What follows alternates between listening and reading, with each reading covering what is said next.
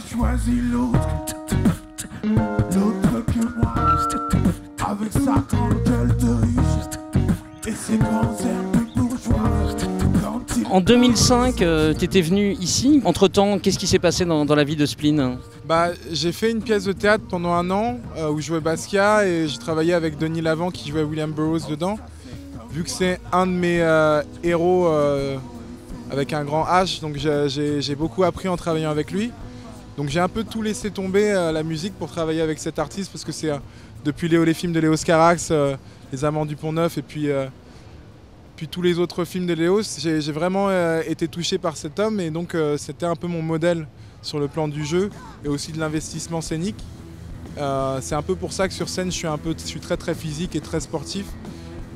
Donc j'ai passé un an donc à, à- à travailler sur cette pièce, puis un jour ensuite j'ai travaillé avec des, des artistes comme Coco on a fait un deuxième puis un troisième album. Euh, j'ai bossé, j'étais en tournée avec Devan Rabana.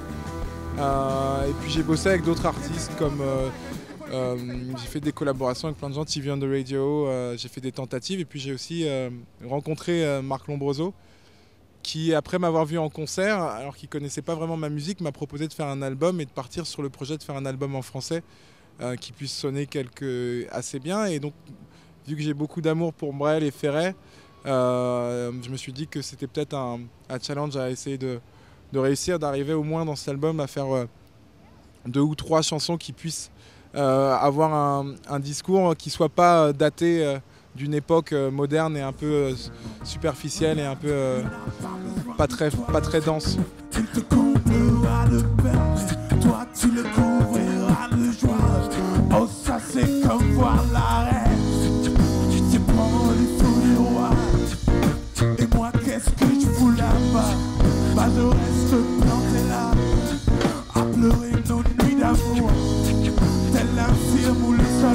Moi, j'avais pas envie de, de faire un album qui sonne trop proche de, de mes pères et donc euh, j'ai essayé de, euh, de prendre le temps de, savoir à quel moment j'aurais pu être apte à raconter quelque chose avec le français sans que ça ressemble trop euh, à des gens. Et c'est vrai que quand on écoute Tu l'aimeras ou Stylo et ou Yaoundé, il y a quelque chose de, qui m'appartient euh, beaucoup. Je pense pas être fait pour la musique. Je pense que je suis fait pour communiquer et raconter des histoires. Et euh, c'est peut-être parce que je viens de l'oralité comme, euh, comme la culture africaine euh, et orale. Et c'est vrai que avant tout j'essaie de raconter des histoires. Toutes mes chansons sont prétexte à raconter des émotions.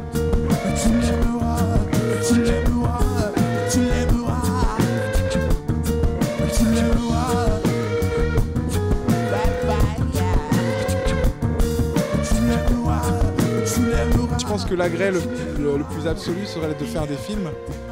Parce que ça, c'est un peu un conglomérat de toutes les formes d'art, l'écriture, la peinture, la photographie, le jeu d'acteur, la mise en scène, euh, et le chant aussi, la musique.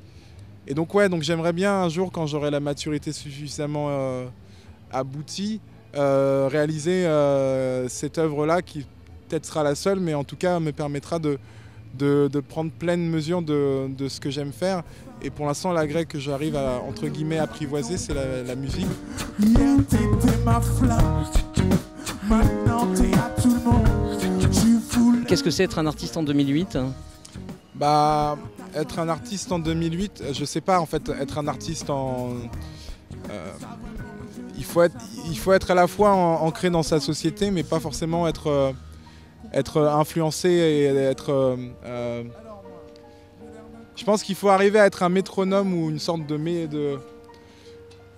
chroniqueur de, du monde dans lequel on est, on- même en chantant des chansons d'amour, d'arriver à parler d'un contexte. C'est vrai que mon album, le fait qu'il parle autant d'amour et de ce besoin d'aimer, c'est que je pense qu'il y a une urgence qui est, hyper importante de revenir à des sentiments beaucoup plus euh, euh, élémentaires. Mais